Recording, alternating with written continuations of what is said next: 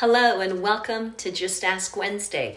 I'm Sharon and we got a great question from Janie, who is a mother of a two and a four year old, a young mom. She asks this question How can we actually keep ourselves germ free or safer as we grocery shop? Because let's face it, we are all social distancing, we are quarantining ourselves inside our home.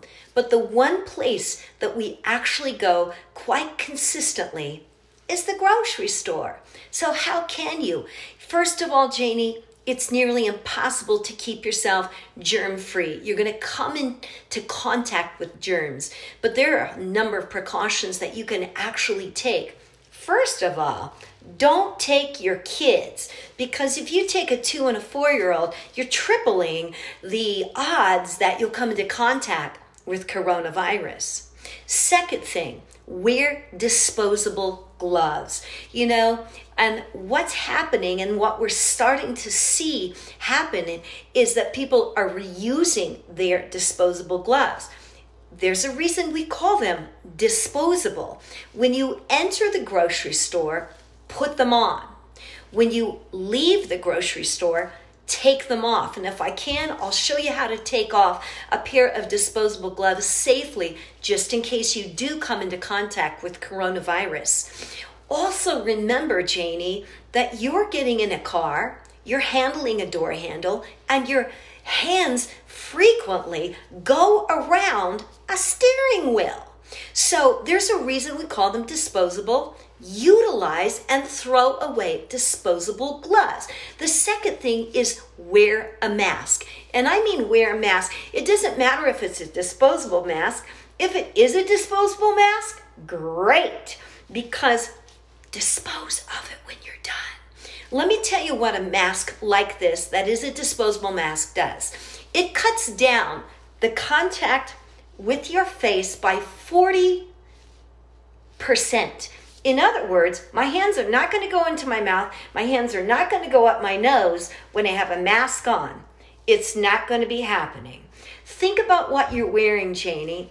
In other words, protect your body because we honestly, I honestly can't figure out how long coronavirus stays on a surface because one person will say, oh, stays on there three days. Then the next person will say, oh, stays on the surface for nine days, then the next person will say 20 days. And so I'm a little confused. So think about your steering wheel, think about your door handle, rinse them off quite frequently. So if you're wearing gloves, possibly a hat, even a pair of sunglasses, yeah, you might look a little strange. But think about the protection of those children, your two and a four year old. Think about the protection of your parents, their grandparents, and your grandparents. Another thing you should take great note of is cleaning your cart. I do it excessively. So, if the grocery store is not providing sanitary wipes, alcohol, to wipe that down, you should go to management and ask for it because they should be. And you know what? Be excessive in it. Another thing that I am doing is I'm protecting and myself by providing myself with an emergency bag. I'm just making a couple of emergency bags now. What's in my emergency bag? It's a bag I keep in the car. I'm keeping Lysol wipes so I can wipe down my steering wheel after I go to the grocery store. I'm keeping sanitizer that my good friend Tina Jones, Tina Brown made for me out of out of a couple of different plants and alcohol. I keep extra disposable gloves. You know, gloves you throw out. I keep an extra thing of a sanitizer in case I see somebody and somebody wants some sanitizer. I keep some extra masks because I use disposable masks. And let me tell you something else. That's not all that you should be doing. I want you to think about this. When I went to the grocery store last week, and I'm trying to go just one time a week to get the necessities, and I'm trying my best to plan ahead. In other words, think of how you can be more efficient at the grocery store by buying exactly what you need, getting in and getting out as soon as possible, disposing of your gloves, disposing of this when you get home, take your clothes off, throw everything into a washing machine. So be a little considerate of what you're wearing to the grocery store. And you know, I have my friends even washing off their shoes if they come to see me for some given reason and they enter my home. I don't know about coronavirus and the surface, so plan accordingly to be safe. But let me show you the biggest culprit that there is in our world today. Anyway, I was telling you last week, I went one time and I bet you about 10% of the cashiers, the patrons in my grocery stores wore these and they actually wore that. This week, that's about 30%. So let's talk about when you don't. So the other 70% is not. And let me show you the biggest culprit this thing that's called the cell phone. Did you realize 80%, not 80%, we look at our phone 80 times a day. Now, the number after 79, you heard me right. If you don't believe me, Google it. Because I really didn't believe that at first. That I look at this cell phone 80 times a day on the average in America. That means we're putting this beloved thing up to our face, the place where coronavirus can enter. The second biggest culprit inside a grocery store is the cart itself. So let me show you first of all how to take this disposable. Remember, you're going to put them on the minute you enter and you're going to put them on the minute you leave. So you can see me take my hands on the inside.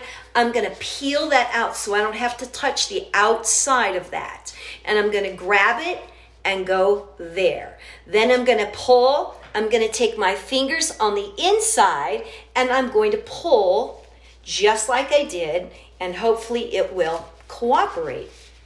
There you go. And then I throw it away in the receptacle that's right by the grocery store. But let's talk about what happens. This railing, this mop handle, represents the shopping cart.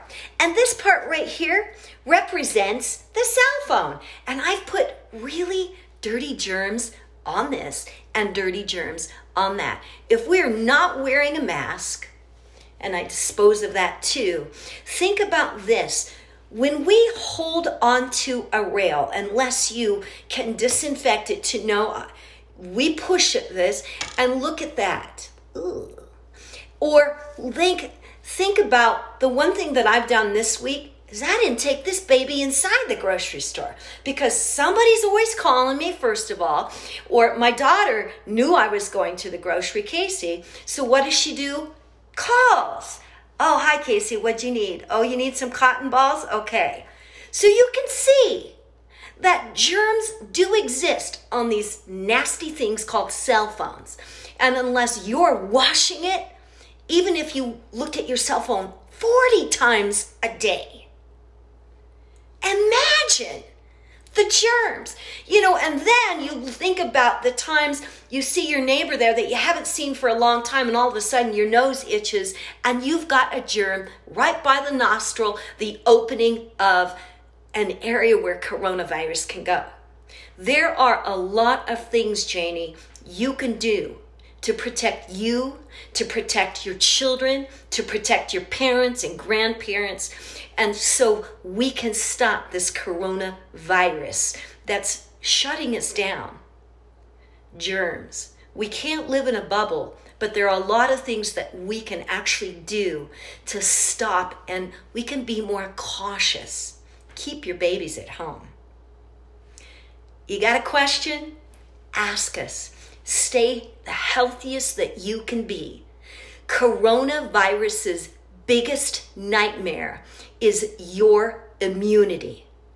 And I'll tell you, staying clean is a big name of the game. Stay clean because you don't want germs like you see on me. Have a great Wednesday, and we'll see you next Wednesday.